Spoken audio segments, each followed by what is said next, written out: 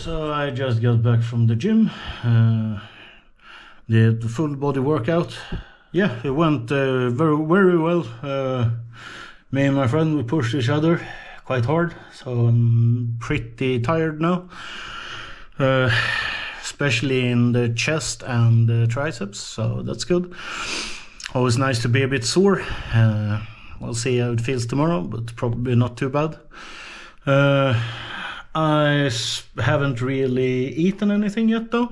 I ate uh, some uh, granola for breakfast, and then I had some had two sandwiches uh, before before the gym to carb up, uh, and the usual like pre-workout and uh, uh, creatine tablets. So yeah, that's it for now. I'm gonna jump in a shower and then make a salad. And uh, tonight we have some uh, the next phase of the WoW uh, thing we're playing, uh, Season of Discovery. So probably gonna be blasting that a bit.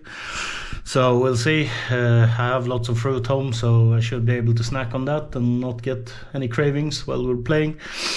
We'll see how it goes. It should be fine. Uh, other than that, yeah, lots of sugar-free energy drink. I'm guessing, but I'll catch in or I'll catch you guys later.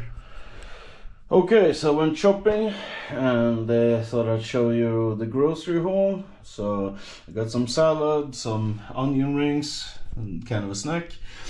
I got some pork uh, shreds, some pesto, some cream cheese, some pasta, a couple of cucumbers, and uh, high protein yogurt and uh, protein pudding, a couple of energy drinks, Turkish yogurt, kiwi, cheese, uh, no sugar uh, Sprite. And then I got some fruit. I got uh, apples and pears, tomatoes, uh, a couple of uh, pieces of bread, uh, like eight pounds of chicken. So gonna do like a big cook with those and then uh, put in boxes. So It's easier to fix food. And then some uh, Italian ice cream. It's uh, kind of low calorie. I think it was like 170 or something uh, per gram or per 100 grams. So yeah, so like the whole thing is like 800.